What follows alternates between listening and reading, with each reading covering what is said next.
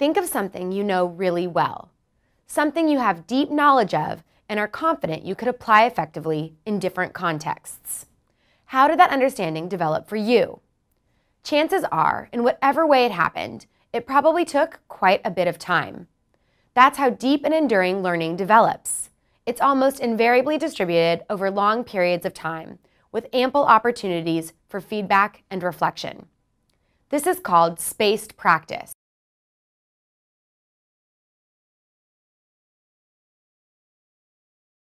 A learning principle we're all familiar with, both in our academic and daily lives.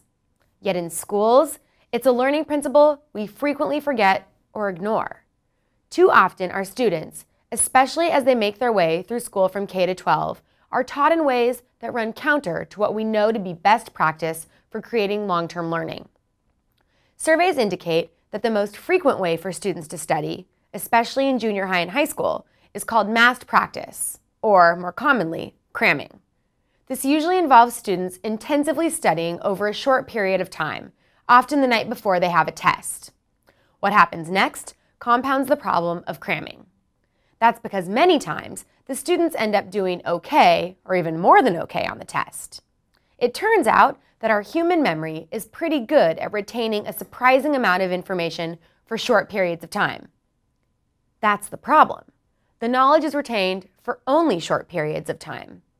Give those students the same test three weeks later unannounced and see how they do. My experience is that those same students who achieved high scores retain little of what they knew a few weeks earlier. Even more interesting would be to have students take their final exams from June the following September. You could even limit the important skills and concepts from the previous year. How do you think they would do?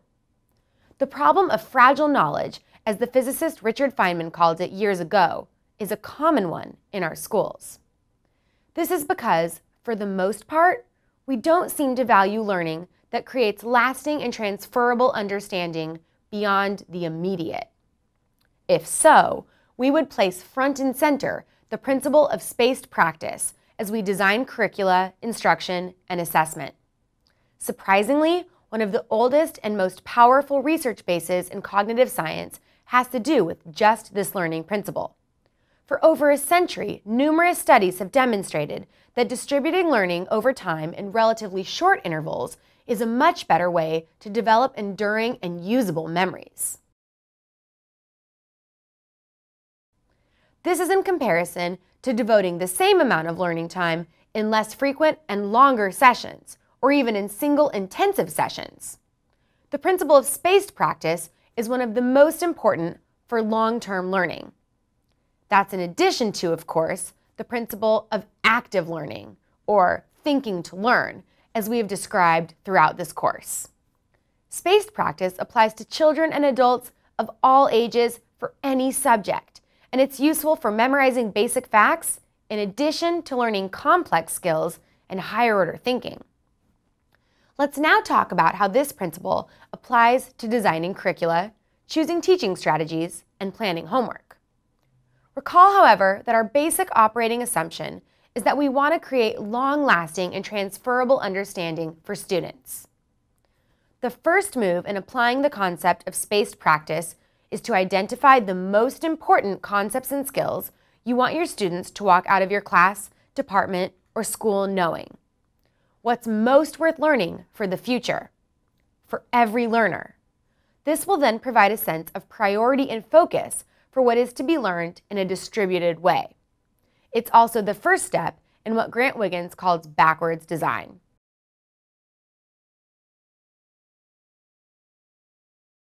And it will prevent you from suffering the futility of trying to teach everything of importance, as he puts it.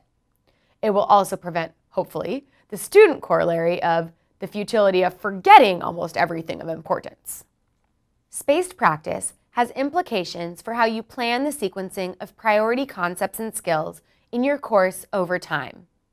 Instead of teaching a concept or skill intensively over days or weeks as a unit, better would be to plan spreading the learning of the most important concepts over months, returning to them periodically to build and reinforce.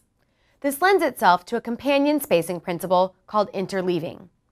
We discussed this previously in the Student Learning Strategies section of this course. Recall that interleaving involves spending some time learning one thing, then pausing to concentrate on learning a second thing, then returning to the first thing, and possibly starting to learn a third thing. All occur without fully learning to completion any one of those subjects. This sounds confusing, but it works, especially if you're a good planner who can keep track of lots of things. As you can see from this English class example, a teacher could block the four elements of their course and teach each consecutively in a concentrated way. Instead, this teacher has chosen to interleave the topics in a way that makes sense for the material and the students she's teaching.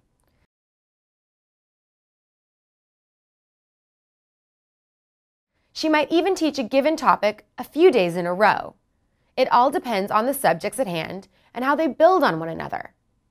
Also important, of course, is how well her students are grasping the material. The research is strong about how interleaving enhances learning in a spaced practice way.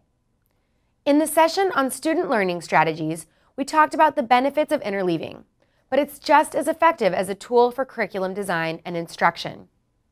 With regard to teaching strategies, intentionally and frequently having students try to recall past learning is important, especially for the skills and knowledge you want to prioritize.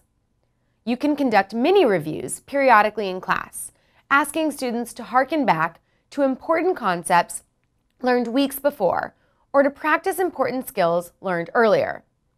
This need only take five or so minutes of class time. Combined with retrieval practice, you have a very potent duo of in-class learning strategies. It's hard to beat spaced retrieval practice to increase student learning. For homework, you can include questions or problems that require students to reflect back on previous learning. Again, the effect is amplified when coupled with retrieval practice. In testing, make your exams, when feasible, cumulative. You can tell students that any given test might include not only current material, but also past material. It's important that students know in advance the most important skills and concepts that will be included from past tests. This means they need to have a clear sense of what the priority skills and knowledge include. Also, test the students unannounced on previous learning. Occasionally re-give parts of a test taken weeks before, focusing on the important prior learnings. Don't tell them ahead of time, but alert students at the beginning of your course that you will retest and explain the reason for retesting. By doing this, you're signaling that you value long-term learning and you're also highlighting learning prior priorities and at the same time devaluing the short-term learning benefits of cramming. In addition, it can provide useful information for you about what your students are retaining in enduring ways. Make sure you speak to your students about spaced practice and interleaving. They can get frustrated doing it, especially at first, because they feel like they're not mastering anything. Also, explain to them that concentrated focus on a single topic can provide an illusion of mastery in the short term, but not in a lasting way. One final note.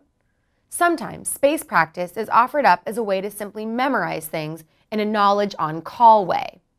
That may be true, but as we all know, effective critical thinking, problem solving, and decision making all require ready access to critical information and knowledge. In addition, as the work of Anders Ericsson about how experts are made reveals, one of the crucial factors in their development is deliberate practice extended over long periods of time. Both spaced practice and interleaving are integral to becoming an expert in any field or endeavor. As teachers, we may not be developing world-class experts, but we surely can model our practices after their techniques.